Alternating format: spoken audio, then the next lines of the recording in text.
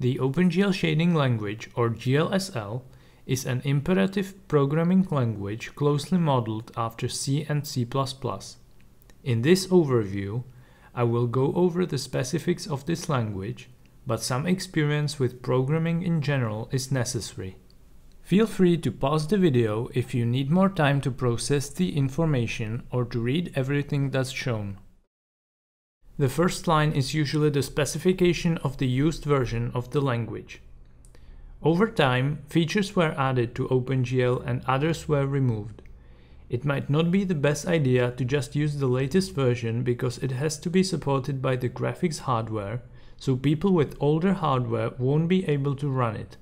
However, the vast majority of features that you will probably need are present since OpenGL 3.0 so version 1.3.0 should usually suffice, and that's why it's the default GLSL version in Shadron. Each variable in GLSL has an explicit data type. The elementary type is float, the 32-bit floating point number. In shader calculations, real numbers are much more common than integers. However, the classic int, a 32-bit signed integer, is also present. Both of these types have vector variants consisting of 2 to 4 floats or integers, and there are also matrix variants for the float, which consist of 2 times 2 to 4 times 4 floats. The vector types are used as actual mathematical vectors, but also as coordinates or color values. There is also the boolean type, which can only hold true or false, but unlike C++, it isn't interchangeable with int, and all logical expressions have this type. The last type I will mention are samplers, for example sampler2d, which represent references to textures. In Shadron, each image element is automatically converted to a sampler 2D. This is not the complete list of base GLSL types, but it covers the important ones. Like in C, all commands are inside functions, with one function serving as the shader's entry point, typically the function called main. In Shadron, however, the entry point is specified by name for each image or animation. So how do we create a function? The declaration is almost identical to C. We need to specify the return type, or void if there is none, followed by the function's name and a list of arguments in parentheses, each with a type and a name, separated by commas. After that, there is the body of the function enclosed by curly braces. The result of the function is outputted by a return statement like this. Keep in mind that in Shadron you need to add the keyword GLSL before each function, which is not part of the GLSL language, but allows Shadron to identify GLSL code. A notable difference from C and C++ is that function parameters can be either input, which is the default, output, meaning the function will set its value, or both. This substitutes C pointers and C++ references, which are absent. The declaration of variables is also very similar to C. Simply enter the desired type followed by the variable's name and a semicolon. This way, however, the variable is uninitialized and its value unknown.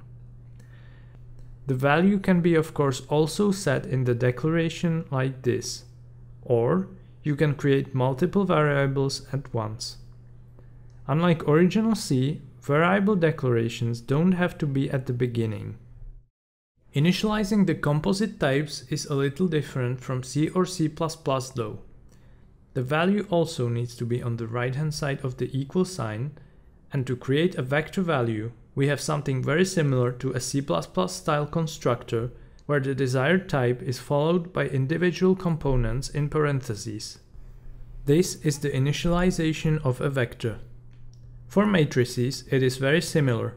Here I would like to note that white spaces and new lines do not matter. However, these constructors are much more flexible. For example, you can also specify just one number which will be used for all the components of a vector. This is by the way also the syntax of typecasting in GLSL. Or you can even compose a four-dimensional vector from a 3D vector and a float, or a matrix from vectors. Basically any combination works as long as the number of components adds up. There are also arrays, and here the syntax differs the most from C, but I think it is actually more consistent with the other types. The length of the array is always fixed, and it is basically part of the type name. Therefore, the declaration also follows the formula type, then variable name, and the value is also written as the type followed by the individual elements in parentheses. The way arrays are passed into a function is similar. The elements of the array are accessed the same way as in C, and this syntax can also be applied on vectors and matrices to access their components. However, there is a more elegant way to access vector components called swizzling. This is similar to how members of a structure are accessed in C. The first component is under .x, the second .y, and so on. This can of course be used to set the values as well. So there are two ways to access the individual components of vectors, the array style and swizzling. However, since vectors are also used to represent colors, there are aliases for the RGBA color channels as well as for texture coordinates. No vector has an explicit designation for what it represents, so you can pick whichever of these you want to maximize the readability of your code. Additionally, you can even use more than one of these letters to extract parts of the vector. They don't even have to be in the same order, and you can even use the same element multiple times. Swizzling is really an amazing feature of GLSL that can greatly simplify your code. Now let's look at some more of the basic syntax. Comments, for example, are exactly the same as in C++. Calling a function is also the same. Just type out the function name and put the arguments in parentheses. Function overloading is supported, but recursion is forbidden. There are control structures such as cycles and conditions, but these aren't as common in shader programs. They are almost exactly the same as in C++, with one difference being that the condition must strictly have a boolean type. The for cycle includes the ability to declare the control variable in the statement itself. If the body only consists of one statement, the curly braces are optional. This can be of course rewritten as an equivalent while cycle. Then there is the if statement where the code inside it only runs if the condition is met and it can be followed by an optional else branch. I would like to point out that due to the GPU architecture, this may be very inefficient because all shader cores must be synchronized and therefore the portion of the cores where the condition was false have to wait for the rest to go through the first branch and vice versa.